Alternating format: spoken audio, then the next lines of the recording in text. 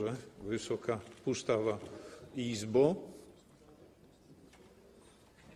Miesiąc kampanii nienawiści, hejtu, rozjeżdżania walcem totalniackich mediów.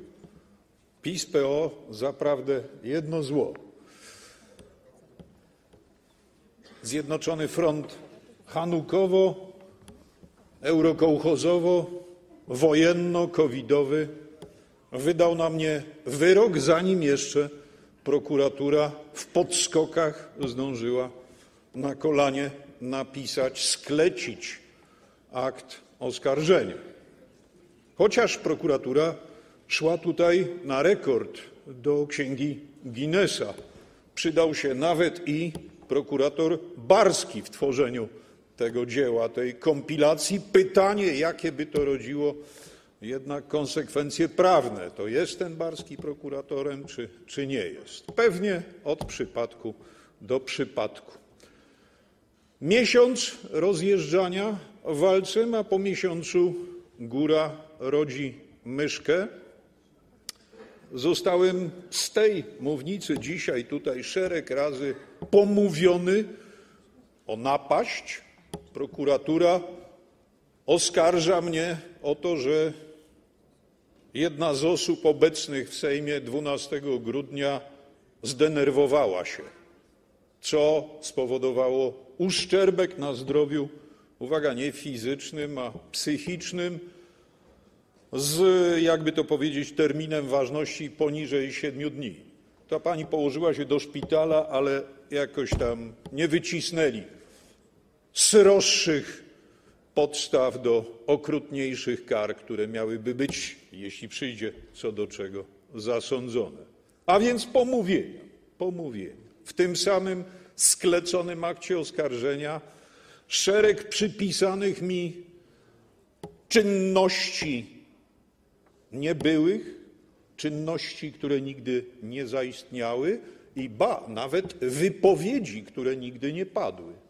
I ja nie muszę specjalnie martwić się o to, jak moi obrońcy będą to udowadniać wysokim sądom, bo może nie jednemu sądowi, skoro aż siedem zarzutów. Może o to chodzi, żebym peregrynował po sądach z krańca na kraniec Rzeczypospolitej, żeby zorganizować mnie i moim współpracownikom czas na, na czas dłuższy, ale nie martwię się o to, jak ostatecznie zostanie ustalona prawda materialna, ponieważ internet widzi internet pamięta, kto kogo napadł i materiały audio-wideo, na które o ironio powołuje się sam prokurator, który podpisał ten dokument, te materiały to wyraźnie zaświadczają, kto co powiedział, a czego nie powiedział. Więc na tym przykładzie, jednym przykładzie z jednego tylko postawionego mi zarzutu o charakterze pomówienia stwierdzam, Wysoka Izbo, że prokuratura oparła się na konfabulacjach, zmyśleniach. Wymyślone słowa, wymyślone kwestie, wymyślone czyny.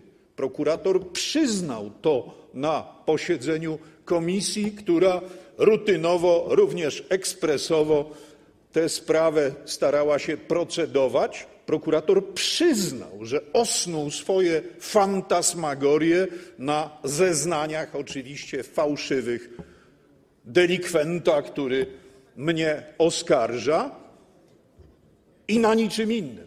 Ale wysoka komisja nie próbowała skonfrontować w prosty sposób tego, co jest napisane, z tym, co jest nagrane, bo powtarzam, nie potrzeba tu żadnych rzeczoznawców, nie potrzeba żadnych biegłych, potrzeba tylko pary oczu i uszu. I powtarzam, internet widział, internet pamięta.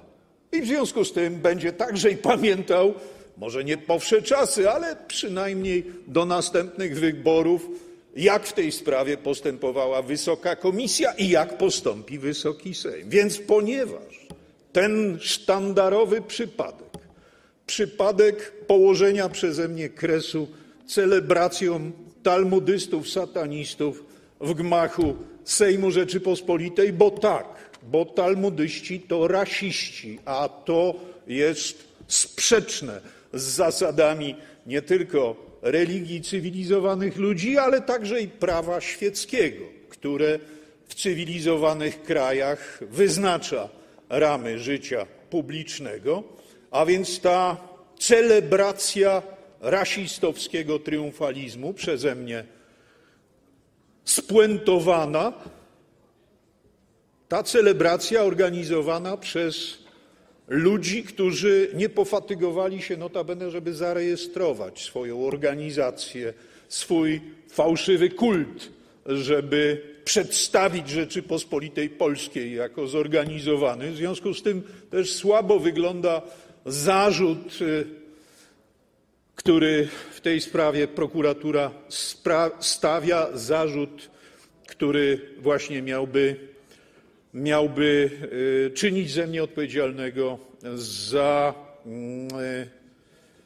utrudnianie sprawowania kultu, no to skoro tak słabo to wygląda, sięgnięto po, jak to tutaj pan przewodniczący zreferował, dzieła zebrane, no niestety nie zebrane. Chętnie chlubić się będę innymi moimi interwencjami poselskimi. Zdaje mi się, że skutecznie odświeżyłem ten gatunek i przypomniałem szerokiej publiczności, że poseł może, a z mojego punktu widzenia powinien reagować na zło, które dostrzega w polskim życiu publicznym na wszelkie sposoby.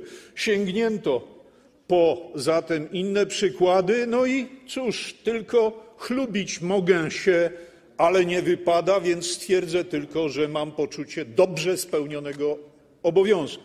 Tak jak przywróciłem powagę Wysokiej Izby, kładąc kres tej rasistowskiej, talmudycznej celebracji, tak przywróciłem powagę Wysokiego Sądu w Krakowie, który został przez pederastów, eurofederastów przyozdobiony choinką z ich emblematami, co dalibóg z powagą Wysokiego Sądu nie licowało i trwało to miesiącami, aż ja niegodny zawitałem w mury tego sądu i mogłem przywrócić powagę.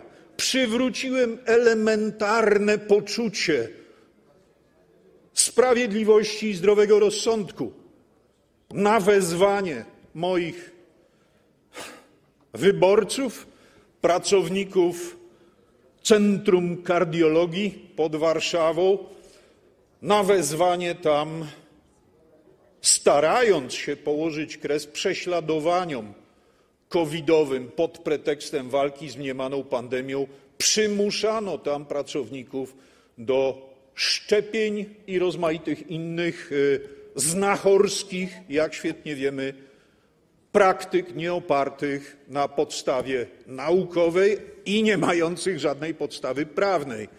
Dokonujący tych bezprawnych wymuszeń, mobbingu dopuszczający się wobec własnych pracowników dyrektor tego centrum, poprzednio minister jednej choroby i nagłej śmierci, współodpowiedzialny niewątpliwie za wielką operację, za którą także i Wysoka Izba współodpowiada. Dlatego powiadam: Zjednoczony Front hanukowo-covidowo-eurokołchozowo-wojenny, bo jesteście Państwo również podżegaczami wojennymi i wszelkiego rodzaju nieszczęścia, zagrożenia śmiertelne i represje sprowadziliście na naród polski w tych ostatnich zwłaszcza latach. To wszystko sytuacje, w których z poczuciem dobrze spełnionego obowiązku, niestety oczywiście bez należytych skutków prawnych, które powinny dotknąć rzeczników, rzeczników bezprawia i niegodziwości wobec moich rodaków, to notuję na moim koncie, a prokuratura czyni z tego taki sobie gniot, taką pigułę, nie kijem go, to pałką Jak nie pod punktem pierwszym A, to może pod punktem trzecim B coś się znajdzie. Ale tu jakaż ironia tej sytuacji. Okazuje się, że nie ma z czego tego ulepić, ponieważ większość tych zarzutów, które mi postawiono, to są zarzuty ścigane w polskich standardach prawnych z oskarżenia prywatnego. I owszem, prywatnie poskarżyli się na mnie składający rozmaite fałszywe zeznania niby poszkodowani, ale prokuratura w wyjątkowych wypadkach obejmuje ściganiem czyny, na które skarżą się prywatni oskarżyciele. W tym wypadku prokuratura pospieszyła jako adwokat, jako, jako plenipotent tych rozmaitych niby poszkodowanych, w tym e, Niemców w Warszawie. Prokuratura będzie reprezentować Niemców. Zwykle w takich sprawach no, prokuratura reprezentuje kogo? Kogoś, kto sam nie radziłby sobie w takiej sytuacji, na przykład jako małoletni albo obarczony jakimiś deficytami, czy intelektualnymi, czy fizycznymi, czy też y, po prostu kogoś, kogo nie stać na to, żeby się prawować, procesować. W tym wypadku prokuratura jest samozwańczym i nadgorliwym rzecznikiem interesu Niemców w Warszawie i oto, proszę Państwa, wspaniała perspektywa. Będę sądzony w interesie niemieckim o mienie zniszczone w Warszawie. Mienie zniszczone w Warszawie jestem przez polską prokuraturę eurokołchozową postprl-owską e, oskarżany o to, że zniszczyłem Niemcom urządzenie, narzędzie, mikrofon, który służył do szerzenia antypolskiej propagandy i służył nie w teorii, nie jest to żadna figura literacka, tylko właśnie instatu nascendi w trakcie, w trakcie wywodu, który Polaków po raz kolejny nominować miał na odpowiedzialnych za niemieckie zbrodnie w trakcie wojny rozpętanej przez socjalistów narodowych niemieckich wespół z socjalistami międzynarodowymi sowieckimi. W trakcie tego wykładu interweniowałem. Wszystko to interwencje poselskie, nie jakiś wasz sympatyczny skądinąd na co dzień kolega, który po pijaku spadł z rowerka i zasłaniał się legitymacją poselską, nie jakiś gruby aferzysta na spore miliony zagrożone właśnie do 20 może nawet lat. Nie, macie tutaj posła, który sprawował i sprawuje swój mandat. I zamiast przyjść w sukurs temu posłowi, popychacie go teraz, no, niektórzy z nadzieją, że w ciemnice, w jakieś kazamaty, ale w każdym razie do tego zmierzacie, żebym zniknął wam z horyzontu, wam, Zjednoczonemu Frontowi Wielkiej Koalicji Hanukowej. I takie będzie to głosowanie.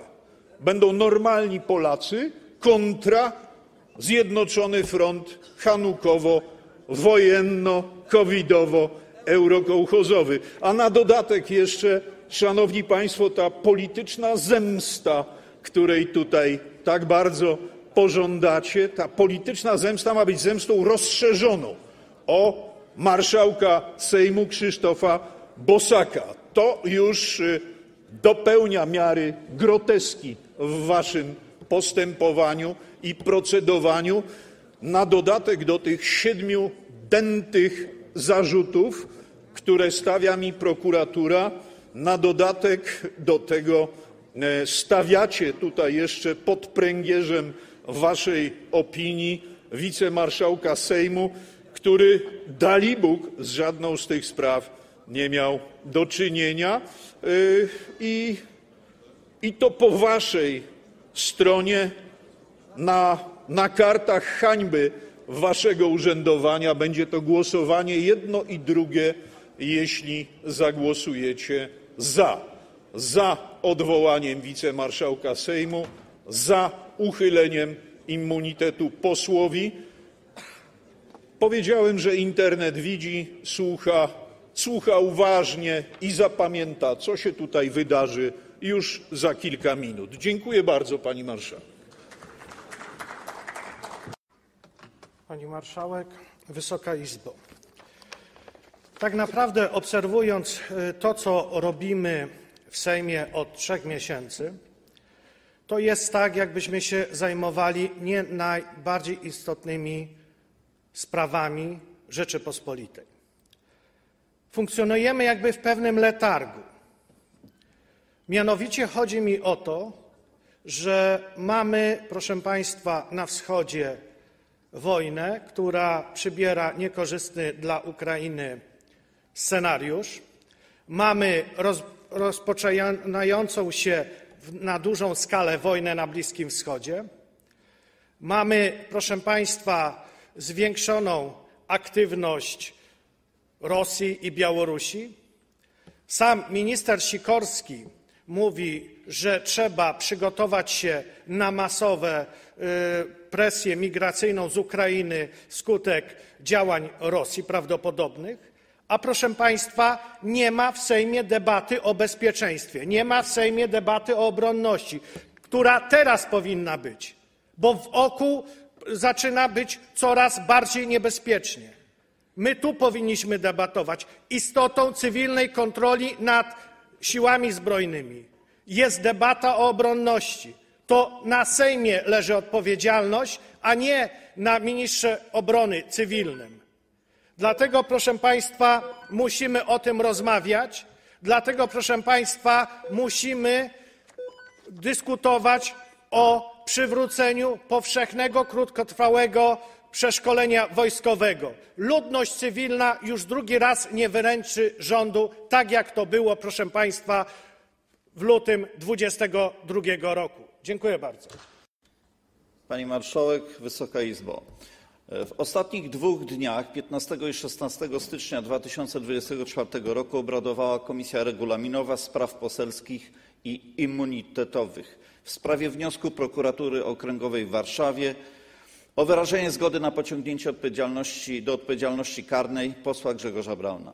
Komisja ta pod przewodnictwem posła Jarosława Urbaniaka obradowała w skandaliczny sposób. Była kompletnie głucha na nasze uwagi i zastrzeżenia, że wniosek prokuratury obejmuje czyny, które w ogóle nie miały miejsca, były wymyślone, były wymyślone, spreparowane. I tak na przykład e, prokurator twierdził, że Grzegorz Braun uderzył w obojczyk kobietę, która go zaatakowała.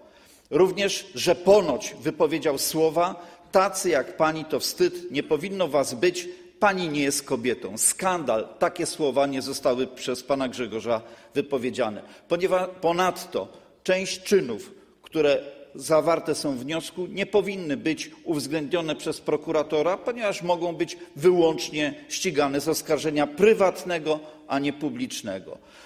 Pomimo tylu wątpliwości komisja zrezygnowała z możliwości zapoznania się z dokumentami zgromadzonymi y, przez prokuraturę okręgową, o co bardzo zabiegaliśmy. Y, również Wysoka Izba nie interesowała się zgromadzonymi dokumentami, przegłosowała wniosek y, prokuratury okręgowej wyłącznie w oparciu o kilkuzdaniową rekomendację.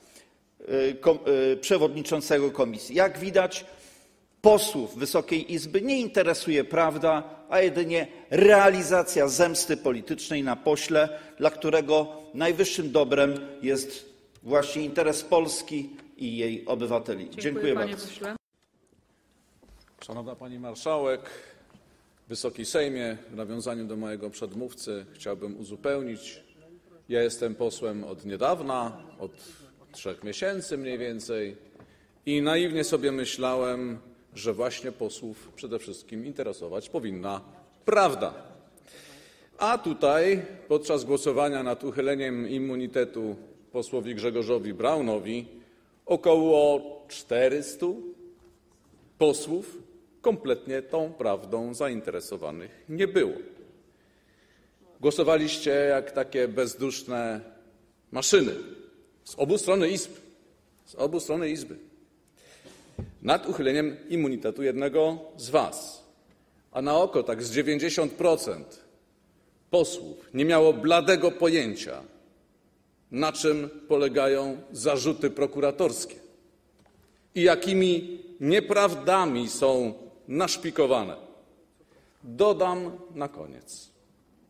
Gdyby sprawa dotyczyła uchylenia immunitetu któregokolwiek z Was, a ja miałbym choć odrobinę wątpliwości, na pewno w tym głosowaniu za uchyleniem immunitetu któregokolwiek z Was zagłosowałbym przeciw. Dziękuję.